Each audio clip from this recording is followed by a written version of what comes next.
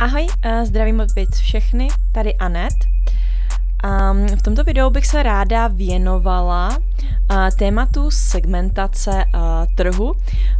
Už jsem vlastně pár videí na toto téma udělala ale myslím si, že by to chtělo trošičku jako takový upgrade a ráda bych vám vlastně ukázala i zdroje, uh, z čeho já čerpám, uh, co mě vlastně jako inspiruje k tomu uh, dělat ty videa. A ještě než začnu, tak vás poprosím zase o like, napište mi dolů nějaký komentář, co byste chtěli vidět dál a taky klidně na tlačítko odebírat. A moc krát děkuji všem, kteří odebírají. Tak a jdeme na to.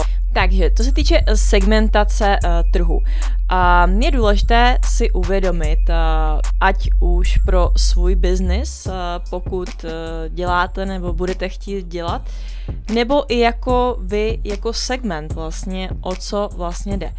Mám tady jako pár obrázků a co se týče těch zdrojů, tak já ráda vlastně čerpám z nějakých zdrojů jako v angličtině, protože je to více relevantní, najdete mnohem více vlastně zdrojů než v češtině. V češtině je toho uh, samozřejmě něco je sepsáno, ale je to jako tak pomalu, takže bych chtěla nejdřív ukázat jako první vlastně věc, to můžete vidět tady. A je to teda vlastně four types of market segmentation. Uh, můžete vidět, že vlastně ten koláč můžeme rozdělit do takových jako čtyř vlastně kategorií. Demographic, uh, potom jako psychographic, behavioral and geographic. Uh, tady můžete vidět vlastně, když máme vlastně ten market, nebo trh teda, uh, bez té segmentace, než si vytvoříme my jako tu segmentaci těch našich třeba zákazníků. Můžete vidět, že máme teda uh, total market before segmentation, potom máme partial segmentation, kde je market teda is segmented into three distinct groups of customers. Takže máme tři nějaké jako grupy, uh, skupiny uh, těch našich zákazníků a potom to třetí vlastně je full segmentation, takže market is completely segmented. Dále tady na obrázku můžete vidět vlastně teda market segmentation.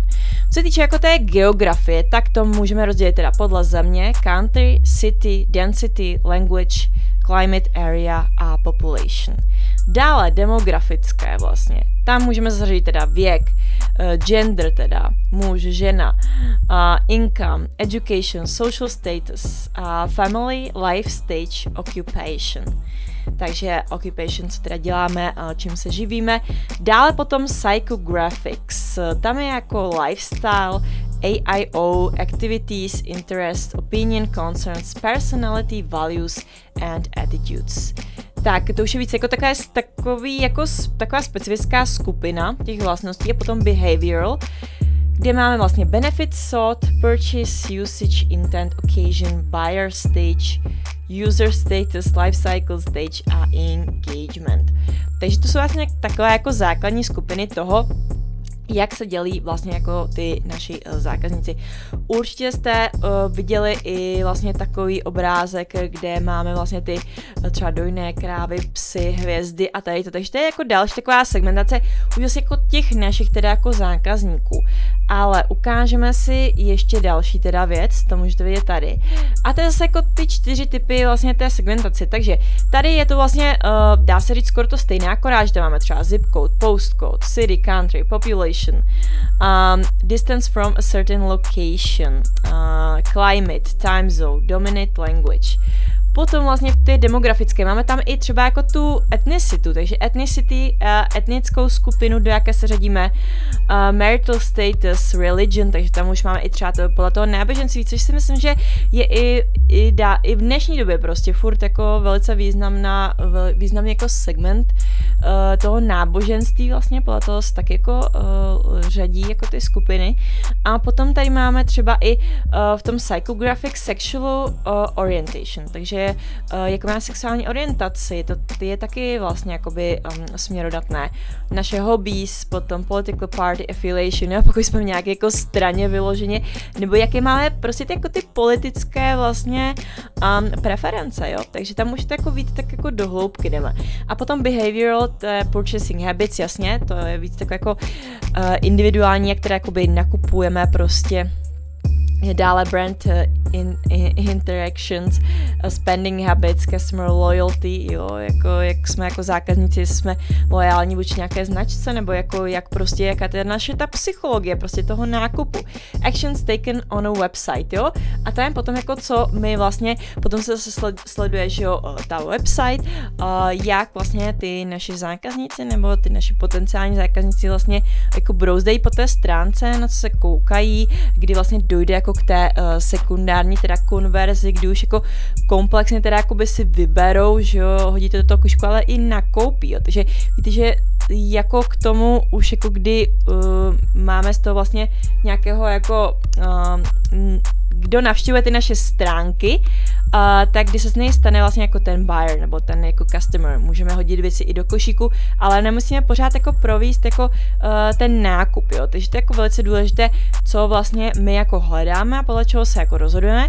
Pak tam vstupuje samozřejmě i jako uh, ten marketing, Říkal bych, že jako takové jako zásadní je to rozdělení prostě uh, podle toho vlastně, um, kolik nám je let, uh, jestli jsme muž, žena, což ale nemusí být taky směrodatný, jo, jako i prostě uh, ženy můžou mít mužské vlastnosti a jako neopak, muži zase můžou uh, jako nakupovat jako ženy, že jo, nebo můžou mít jinou, jinou tu sexuální orientaci, takže podle toho jako uh, ten gender už v dnešní roli, teda v dnešní době už jako nehraje takovou roli, jo. Uh, samozřejmě pokud si budeme kupovat jako dámské plavky, tak uh, asi jako uh, ten muž to tolik jako uh, tolikrát asi jako nekoupí, nebo možná pro nějakou svoji jako třeba paní nebo tak. To nejspíš jo, ale řekla bych, že je důležitý i ten jako věk. Um, určitě jako nějaký ten sociální status, ten náš income, kolik my vyděláváme, nebo kolik nám teda třeba dají uh, rodiče uh, nebo naši příbuzní, takže určitě, určitě tam jako spousta věcí, podle kterých uh, vlastně ten spotřebitel nebo jako ten náš teda customer se vlastně rozhoduje, jo, takže prostě každý, určitě jsme v nějakém jako segmentu trhu a mě třeba jako osobně tady to baví, baví hrozně jakoby analyzovat a sledovat jakoby i na sobě. Třeba, uh, co já si třeba jako koupím nebo jako za co utratím, utracím peníze, jaký jsem jako ten segment trhu, jaký mám jako ty záleby, co mě baví. A zase jako naopak prostě, co bych si třeba jako nikdy nekoupila, i když jako se mi to líbí, jo, takže jako každý, každý se rozhodujeme jako jinak, uh, nastupí tam i nějaké určité takové, uh, si myslím, jako uh, psychologické uh, věci, jako samozřejmě čím víc člověk ví, tím víc a jako přemýšlí už o tom jako nákupu, i o té ceně, právě o tom marketingu, eh, že víme, že eh, třeba eh, něco se nám zdá drahé, ale prostě kdyby to zase jako bylo třeba za nižší cenu, tak jestli to třeba jako nekoupíme, protože už nám to nepřijde jakoby tak třeba jako um, speciální, jo, nebo prostě už si to jako může dovolit každý, takže už to jako třeba um, v našich očích klesá ta hodnota. Takže tam je jako hodně faktorů, uh, podle kterých jako my jako prostě uh, spotřebitel uh, nakupujeme a ta segmentace jako opravdu je velice zajímavé se tomu věnovat a sledovat vlastně jako ty, nákup, ty vlastně nákupní jako procesy, jako takové ty myšlenkové procesy těch nakupujících nebo těch našich zákazníků. Tak k dnešnímu videu to bude vše. Doufám, že jste si toho zase něco odnesli a příště se vrhnu zase na nějaké další uh, zajímavé téma, takže se máte na co těšit a děkuji a jo, mějte se tím krásně. Tak čau.